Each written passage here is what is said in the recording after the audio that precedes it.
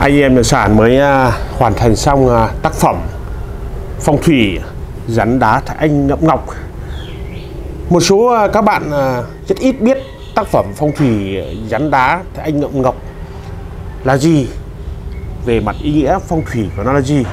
Hôm nay anh em nhà sản Tây Nguyên xin mạo muội chia sẻ một chút kiến thức về vì sao anh em à, làm ra tác phẩm phong thủy rắn đá Thái anh ngậm ngọc như thế này mời các bạn hãy cùng xem tiếp video.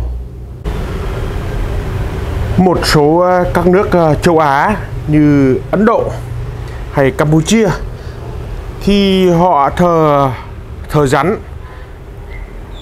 Theo quan niệm là theo quan niệm họ rằng là khi à, rắn lột ra để lớn lên và loại bỏ, và loại bỏ những à, ký sinh trùng nằm trên da để lớn lên.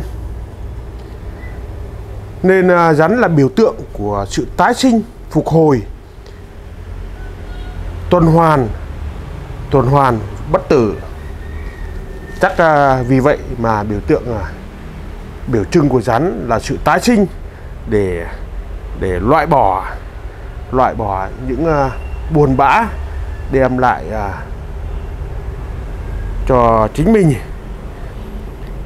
biểu tượng à, rắn là sự sức sống mạnh mẽ, hài hòa, đem lại à, sự thanh đạm, khéo léo à, trong giao tiếp. Giao tiếp. Các bạn thấy rắn đang ngậm một viên ngọc trên miệng như thế này. Và ý nghĩa của viên ngọc là gì?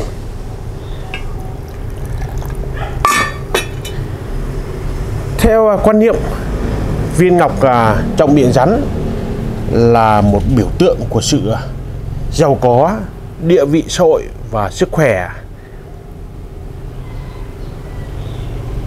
Viên ngọc à, là mang à, sự tài vượng tài vượng tài vượng mang đến à, một phong thủy nghĩa tài vượng các bạn ạ. Đấy là theo à, quan niệm của các nước à, Đông Á châu Á đây là một à, tác phẩm phong thủy à, rắn ngẫm ngọc. Dưới à, anh em à, điêu khắc những à, lớp đồng tiền đồng tiền phong thủy.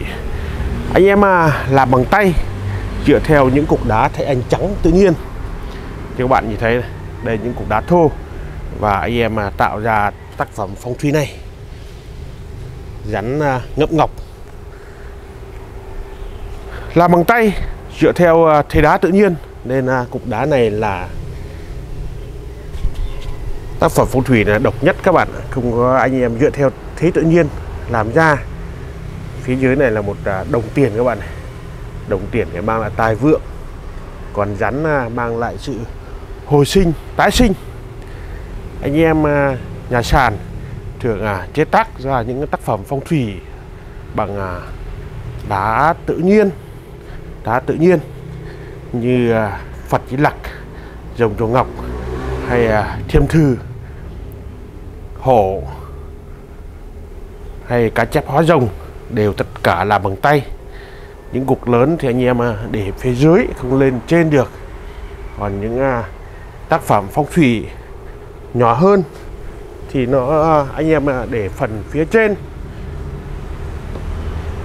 nếu có dịp mà các bạn à ghé thăm anh em nhà sản Trương Nguyên anh em nhà sàn Tây Nguyên chúc các bạn ngày nghỉ vui vẻ và năng lượng.